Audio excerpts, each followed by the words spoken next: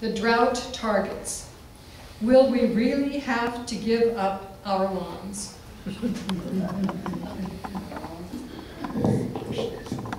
I'm afraid some of us are gonna have to give up some lawn.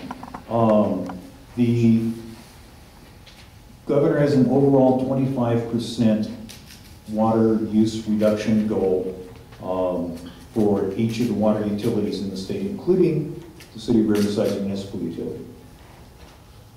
The State Water Quality Control Board set our target at twenty-eight percent. Uh, we made arguments to them that we thought were compelling, that we should be at a much lower level because we don't take any imported water. We have, they have criteria and we meet them. We have more than four years of water in storage. Should have put us at four percent target. They just ruled yesterday, no, we're twenty-eight percent. So the utility board is going to be making a recommendation for how we achieve twenty-eight percent to the council. And the council is going to have to adopt some really tough rules on use of water in our city, and I think it is going to affect our lawns, but I can't tell you exactly what it will look like yet. Mr. Podgorski? Certainly, we all need to be mindful of the water situation, but I think the real issue here goes back to trust and transparency.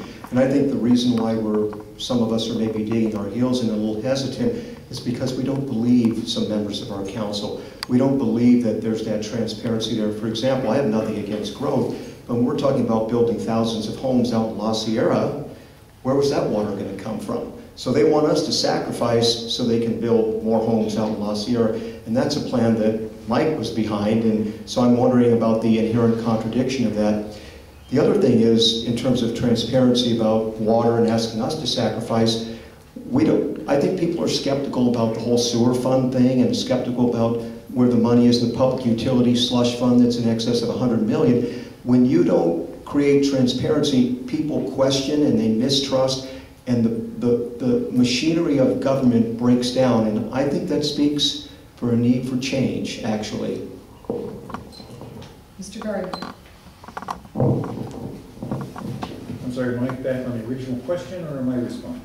You're responding to his comments if you choose. But just very quickly, I did not take a public position on Measure A, the La Sierra Hills project.